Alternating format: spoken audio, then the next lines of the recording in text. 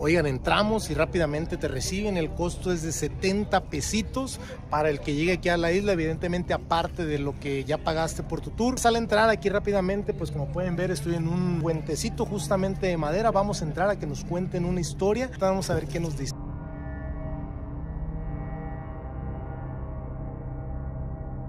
La vida del señor Julián.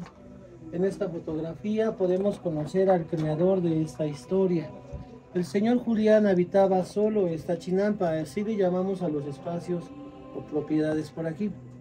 Julián, ermitaño y campesino que vivía solo en esta chinampa, narraba que en la puerta una niña turista se ahogó.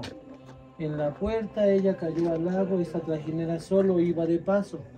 Julián habitaba solo este lugar. Platicaba que en las noches después de la muerte de esta joven, el espíritu rondaba, así que él para ahuyentarlo encendía veladoras, ponía objetos religiosos y para ahuyentar a esta alma en pena traía también muñecas. La primera es la del sombrero.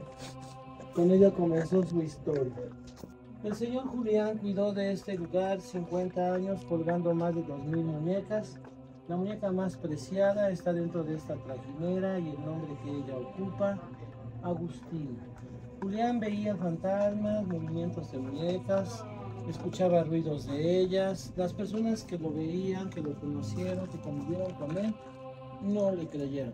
Después de 50 años y más de 2.000 muñecas que trajo de la basura, eh, puedo decirles que, bueno, pues ahora el lugar se ha vuelto turístico, ya que han llegado reporteros, documentalistas, investigadores y ya han grabado muñecas que se mueven por aquí. Sombras que rondan, espíritus y sonidos de muñecas. Por esa razón, este lugar se ha vuelto turístico. Sucede que investigadores de todo el mundo han traído cámaras nocturnas, lectores de energía, sensores de movimiento, drones de infrarrojo. Pues el señor Julián no tenía todo eso, así que no podía mostrarles. Ya han documentado todo tipo de actividad. Los turistas del mundo continúan trayendo nuevas muñecas. Actualmente hay más de 4.500. El señor Julián cuidó de este lugar, no se casó ya que, bueno, pues él eh, vivió solo y no tuvo esposa, no tuvo hijos. Su sobrino continuó cuidando, el señor Anastasio fue quien recibió las muñecas nuevas. Actualmente hay más de 2.500 donaciones, ustedes vuelven, pueden traer también. Anastasio las colgó, Julián también. Entre dos generaciones eh, habitaron más de 70 años este lugar. ¿Sí? 70, sí. Actualmente el lugar ya no es habitado. Julián cuidó de este lugar 50, su sobrino 17, son 67 años. Actualmente estamos en el 2024, los turistas siguen trayendo muñecas. Desafortunadamente Anastasio no tuvo hijos, él no se casó tampoco. Era mi tío y desde que él no está, lo que yo intento es continuar con la historia. ¿Qué onda con los datos que nos acaban de dar en esta historia? Algunos de ustedes ya la conocía, pues nos dicen que este suceso de la niña fue en el año de 1950.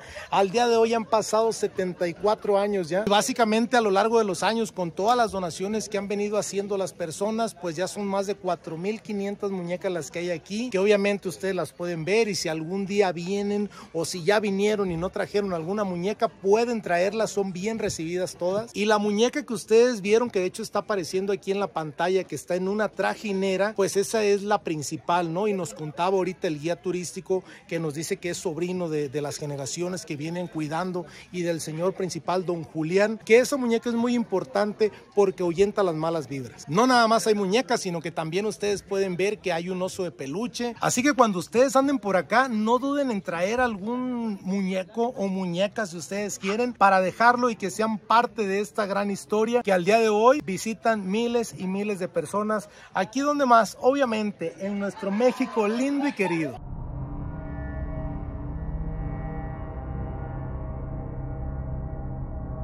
Básicamente la isla no es muy grande. En esta parte justamente donde estoy, pues es un apartadito, les digo, no es muy grande esta isla, pero también está repleta de muñecas. Alcanzo a ver algunas colchonetas y me imagino que todo lo que está aquí también son ofrendas que han venido a dejar los turistas. ¿Qué hubo con esta cama? Pareciera que tengo aquí atrás hay una carriola que también ustedes la alcanzaban a ver a mis espaldas hace un rato. Tenemos diferentes tacitas, ollas de barro, este barril que también tengo aquí. Es algo, la verdad que está impresionante poder verlo en vivo y en directo, como dijeran por ahí. Yo no he sentido una vibra como de que, ay, uy, qué miedo, pero la verdad es que si a mí me dijeran, ¿sabes qué, yo Te vas a quedar el día de hoy, esta noche aquí a grabar. La verdad es que yo siento que no me animo, ya que hay muñecas por doquier. De hecho, aquí ustedes alcanzan a ver, es una un tendedero, le diría yo, y aquí hay unas muñecas colgadas y así lo van a encontrar por toda la isla. Vemos muchas personas que evidentemente vienen a visitar, vienen a vivir esta gran experiencia. Se dan un recorrido por toda la isla. Las personas, obviamente, que están aquí trabajando, te platican esta historia que, que nos acaban de contar, que ustedes ya vieron. Si ya la conocían, coméntenos si ustedes tienen otro dato acerca de esta isla o algo que les haya tocado vivir, también nos los pueden comentar aquí.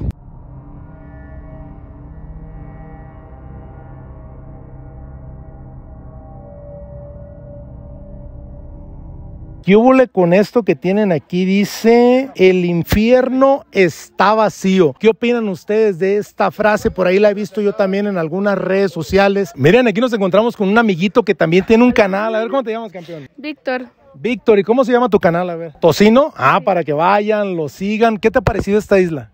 Eh, muy bien. ¿No te da miedo? No. ¿Te quedarías a dormir? Eh... Solito, ¿eh? No. No, yo tampoco. O sea, la verdad, yo me a mí sí me da miedo. Yo no me quedaría a dormir. Adiós. Eso. Y saludos para allá, chicos, ¿eh? Gracias. Aquí es otra cabañita que está, ahora sí dicen por ahí que está junto con pegado con la otra. Pues yo quiero pensar que también son ofrendas que vienen a donar. Aquí tenemos que es una liga, Liga Mexica de Fútbol 7 para los que se dedican al deporte. Ya saben que es como un fútbol rap. Pero coméntenme ustedes, si vinieran, se atreverían a agarrar las muñecas. No hay ninguna leyenda que yo sepa o que me hayan contado que si tú llegas a tener contacto con las muñecas te puedes llevar alguna mala vibra, alguna maldición, pero obviamente algunas personas son muy supersticiosas, claro que se respetan todo este tipo de opiniones divididas. Yo la verdad es que ahorita tengo recostado aquí con lo que estoy grabando sobre una muñeca. Esperemos que no me lleve ninguna maldición a casa, ninguna mala vibra, ninguna sombra, ningún ente de otro planeta que la pasemos a gusto todavía y que todas esas malas vibras se queden por aquí para que solamente nos podamos llevar lo bonito. Oigan, entonces después de este pequeño recorrido, a ver si en algún futuro nos animamos a venir, grabar de noche, poder hacer un gran documental de esta isla, pues ojalá que se logre. Hasta el momento cuéntenos ustedes qué tan espeluznante creen que haya sido esto del 1 al 10. Evidentemente, eh, algunas personas les puede parecer más impresionantes que a otras, pero la verdad créanme que yo estoy impresionado. Es una gran cantidad de muñecos las que hay aquí.